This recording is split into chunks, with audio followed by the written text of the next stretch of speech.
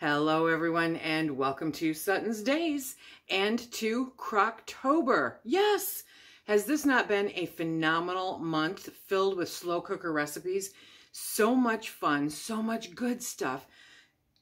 Slow cookers are just like magical, and you know, it's all about magic and witches on Halloween, right? So, we are going to have some fun for this final day of Crocktober, and we are going to make a witch's brew. Yes, we are, because what better way to celebrate a hot meal than to have a witch's brew on Halloween? Oh, yes, yes, yes, yes. Makes me so happy and warm and fuzzy. Look at I got my I got my witchy my witchy apron on. Yes, okay.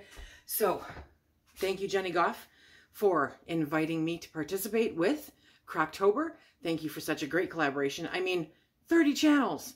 30 channels. This was fantastic. Absolutely loved it. So now, let's get out those cauldrons. Let's get out those spoons. Let's do a little kitchen witchery with some witch's brew. As always, I will put a link for the recipe down below. I will also put a link for the recipe that I adapted this from because uh, it's a little different than mine. You can always take recipes and change them up so that they best fit you and yours, okay? This is going to be so good. Now, to explain the ingredients just a little bit, you're going to need one pound of ground beef and one pound of sausage. You can have spicy sausage if you like, or just plain sausage. In this case, for those of you that are new here, um, I'm a food preservation enthusiast, enthusiast when I can say it. So I have ground beef and I have sausage that I canned up. So this is going to take a lot of my prep time right out. Now, can of condensed tomato soup. You need some carrot chips. These make life a lot easier. You need some garlic. And for those of you that are new to me, um, I'm also a consultant for Thrive Life Foods. It's a freeze-dried food company that is absolutely phenomenal. If you're interested, definitely send me an email. My email address is down below. I would love to talk to you about Thrive Life Foods. So I have some freeze-dried garlic. This stuff is the bomb. And then some freeze-dried onion and some uh, celery. Yes, okay. You need a box of beef bone, beef bone broth, and you need some whole mushrooms, okay? But we'll get to those just a little bit later. So these are the basics of the ingredients. Let's get this party started and brew up some awesome stuff. What's nice about this is that you can grab these ingredients and you can put it all together just in time for everyone to go out trick-or-treating. And then when you come back poof dinner is served right? If you can get them away from those bags of candy. Now if you don't have canned beef and sausage then what you're going to want to do is you're going to want to take that and you're going to want to brown that up okay? So go ahead and cook it off and then put it into your crock pot now we're going to put in the ground beef. Okay, so the cooked ground beef goes in here. This is already cooked. So I'll just put that in the jar. Dun, dun, dun. And then the ground sausage, same thing. Just put that in the jar. I love mixing ground beef with sausage because it just really makes such a great flavor for whatever you're making. Okay. Now we're going to add four cups of beef broth, which is one box. This is a nice hearty brew. Yes, it is. Sure to please most everybody in your family. And it'll be a little fun, too. I'll show you guys that part. Okay, um, I will put the, in the recipe card below, I'll put ingredients uh, for if it's not freeze-dried. Okay, but this is the freeze-dried celery, so that's in there. Oh, only a little bit left, might as well put it in there. And then the onions. Now, the best part about Thrive Life is that I always have the ingredients that I need for the meals that I make right here at home. None of that carb-laden, sodium-laden prepper food. Uh-uh. Nope, nope, not to happen. Look at that minced garlic. Already minced, right? Okay, so we're to add a little bit in there because you can never have quite enough garlic. No, you can't.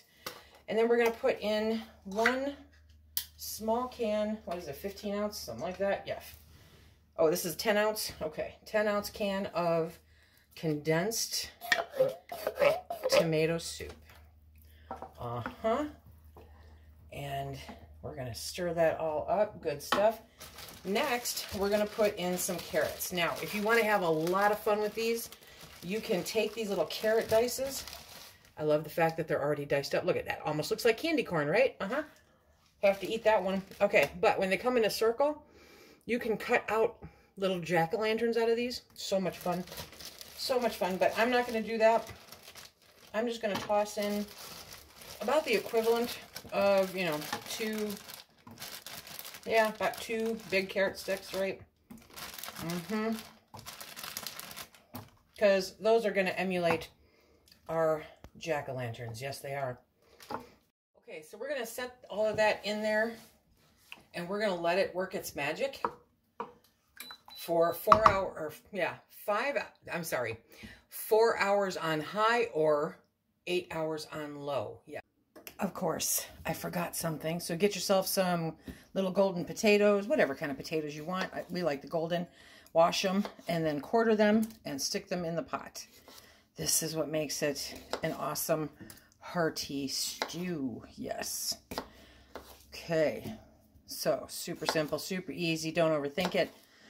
Just get them in there and let them cook up with all that other good stuff. I tell you what, that just smells amazing in there. This is going to be a stick to your bones kind of stew. Perfect. Perfect witchy brew for all those little goblins out there. So you can set it and forget it and be done. But now, now's the time for the shrooms while that's cooking away, you can get your shrooms ready, okay? And these are super simple. You want whole mushrooms, and you want to cut them in half. So when you turn it like that, it looks like a little jack-o'-lantern, right? You know, the hardest thing for me to find was a straw, because we don't use straws. But that's okay. That's okay. So we're going to take these little jack-o'-lanterns, and we're going to... Dun, dun, dun, dun. Oop. We're going to put eyeballs in them. Yes! Look at that. They have little eyeballs. It's awesome. And there you go. So they have little eyeballs. Now you're going to wait and put the mushrooms in in like the last half an hour before it's time to serve. Come on, there we go. Whoop, big eyeballs.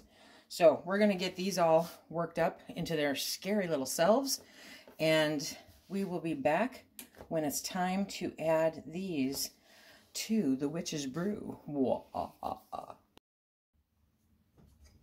This has been brewing away now for a little while. And so we're going to give it a nice stir. Oh, yeah. Okay, now it's time to add the fun stuff. Are you ready? Now we add the skulls. Look at those.